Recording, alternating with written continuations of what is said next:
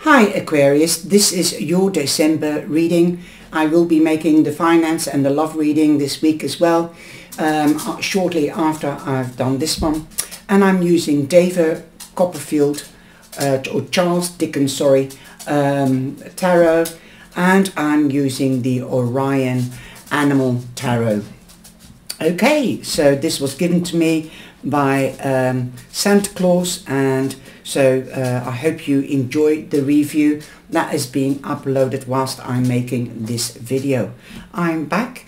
Uh, I'm sorry that I have been away uh, but I've got a cracked rib and I've been in a lot of pain. Let that said, welcome back and I hope you will enjoy. Please do subscribe and hit on the bell so that we can get and share so that we can get the monetization, the super chats back as soon as possible. I need 4,000 minutes watch time and the rest I've been qualified for. So uh, please do sh uh, share and like. The yearlies are out if you haven't watched your yearlies yet and, and use that every month and compare it to the readings next year. The readings of 2023 are, are out there so you can compare December or November or any other month um, with your general readings as well. Okay, so we come in with the Seven of Wands. So the Seven of Wands means um, good luck. Seven is luck. So it does blow, blow it more into a positive uh, vibe because the Seven of Wands means stand your ground. You might feel that you have to protect yourself. Yes, protect yourself, but you don't have to justify yourself. Especially to family and friends. They should support you. Also, you have the world. What goes round comes round. What goes up must come down. The world is your oyster. You might feel on top of the world at the moment. And if not, you, if you take charge and back control, the control back, then you will be on top of the world. You could be even doing research on the web or um, ex uh, expanding because this card does mean expansion either in career or in romance. So definitely going on to the next level, getting engaged, getting married, starting a family, expanding the family, or getting a wage rise, a promotion, or even a company car. You could be traveling for work, or you could be going on holiday or moving home. Or if you've got a business, you could be moving the business and expanding the business. You could also be meeting or dealing with a Taurus, a Leo, a Scorpio, or an Aquarius. If it isn't a person, it could be a time frame. Um, so definitely I think things will be improving for you with the all over energy between now and uh, at the end of Aquarius. Um, definitely let's have a look. Um, you could also um, be receiving karma if you've done good or bad if somebody else has done you bad or good, especially with the seven of wands here, they will get their karma. Wow. If you don't want to get pregnant, then take precautions. If you're too mature, you could be he hearing that somebody in the family or friends circle is giving birth or expecting or getting married or getting engaged. Again, this card does represent celebrations. So that's the all over energy. And number 21 becomes a 3, so stay productive and uh, creative. You've also got the 3 of uh, Wands here. The Three of Wands means that plans are coming to fruition, abundance is on its way. So this is confirming the world and it is um, definitely the negative side of the Seven of Wands, making it not that bad. I think you will rise above it. You know, you know that what you want and that you hold the key to your life's path and your life's force. Also with the Three of Wands, we have the Death card. So this is telling me and also confirming the world that there is an end of a phase and a new beginning. You are in transition and transforming into a stronger version of yourself.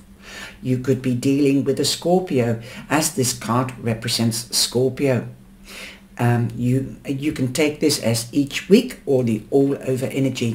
This could be the energy for you in December.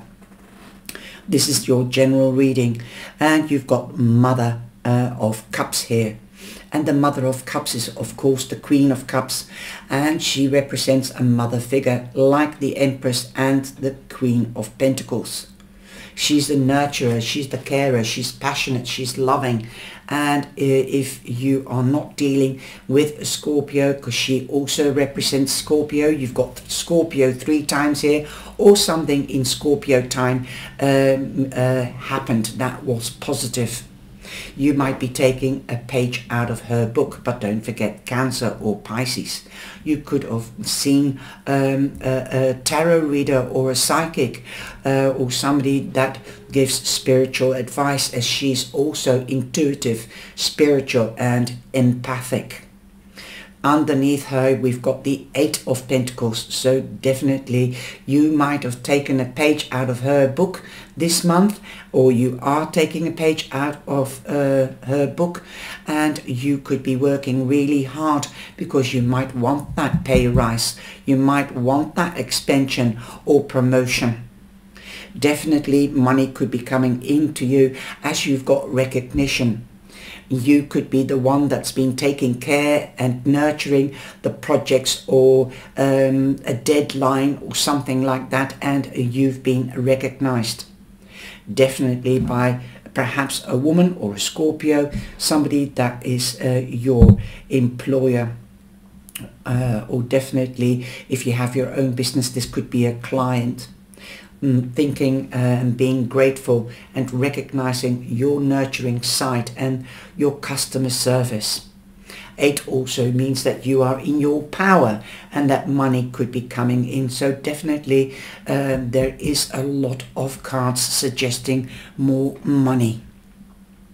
We've also got the Hermit. Um, this is the star card, so a wish, a dream or a goal could come true. You're definitely in the spotlight. Where there is a spotlight, there's also illumination. Something needs your attention. If you're signing official documentation, then be careful of the little print. Get it checked over. Again, we've got Aquarius here. Aquarius is also represented by the world.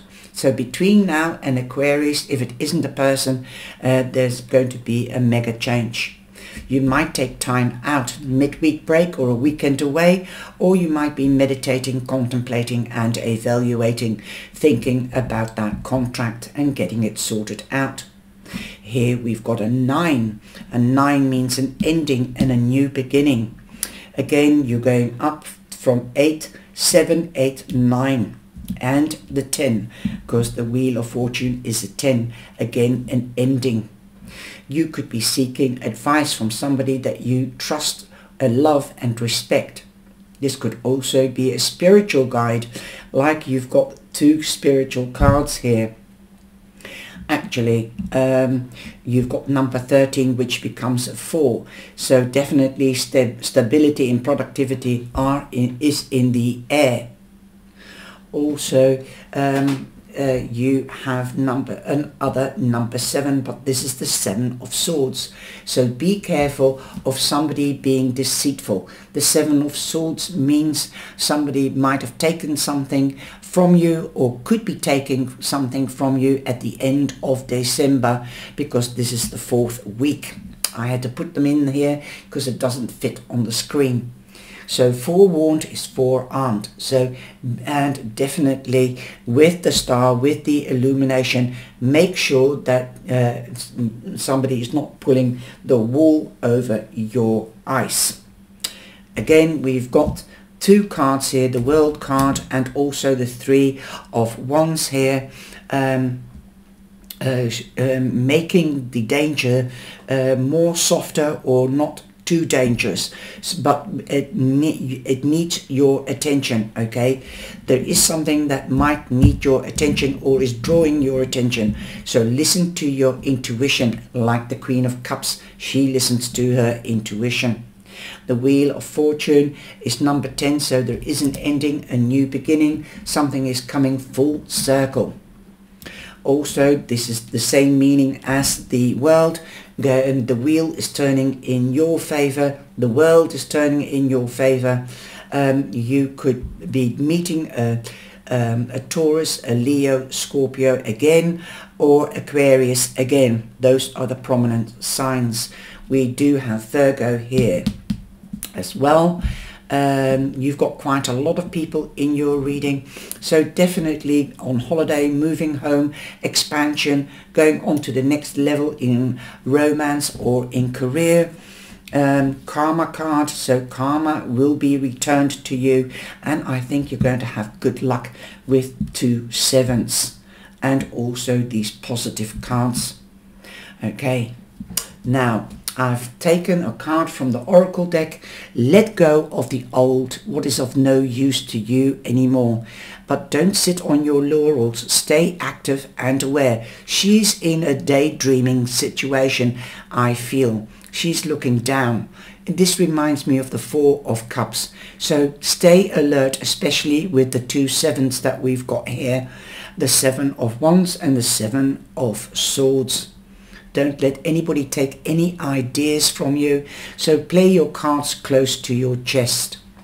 A river of love flows through you when you let go, like the Mother of Cups, the Queen of Cups. So don't go against the current, okay? So go with the flow.